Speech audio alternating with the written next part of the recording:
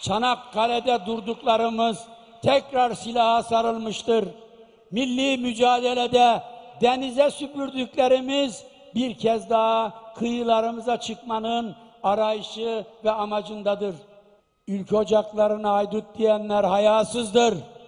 Yüz karasıdır, dönektir, devşirmedir. Faşizmin ippe oynattıkları kuklalardır.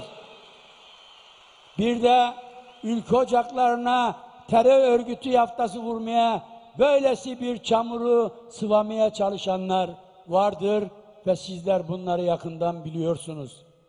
Geçtiğimiz salı günkü grup toplantımızda demiştim ki 9 Ekim 2001 Cumartesi günü Türk Gençlik Kurultayı'na teşrif edecek kardeşlerim hep bir ağızdan elbet gerekli cevabı vakar ve asaletiyle vereceklerdir. Öyle bir cevap veriyorsunuz ki duruşunuzla ve coşkunuzla bütün şer odaklarını zangır zangır titretiyorsunuz. Ben de diyorum ki kahrolsun şer odakları, yaşasın ülke ocakları. Yararımız yok, gocunacak halimiz de yok. ABD Temsilciler Meclisi terörist görmek istiyorsa, terörist tanımak ve bilmek merakındaysa, ülke ocaklarına değil, yeni dost ve müttefiki yanaşmalarına bakmalıdır.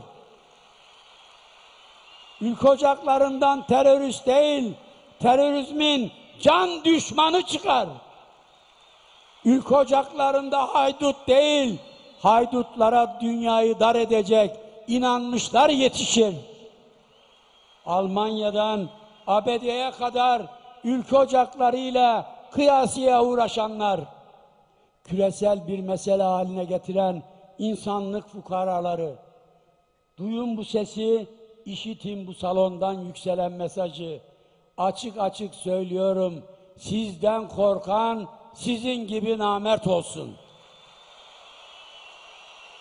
Sizden kaçınan, sizden çekinen, sizin gibi çürüyüp gitsin. Davamızdan, hak bildiğimiz yoldan dönersek de gök girsin, kızıl çıksın. ABD eski Dışişleri Bakanlarından Kissinger'e ait olduğu ileri sürülen bir sözü bu vesileyle paylaşmak istiyorum. Amerika olarak neden güçlüyüz biliyor musunuz? Biz aramızdaki vatan hainlerini öldürürüz.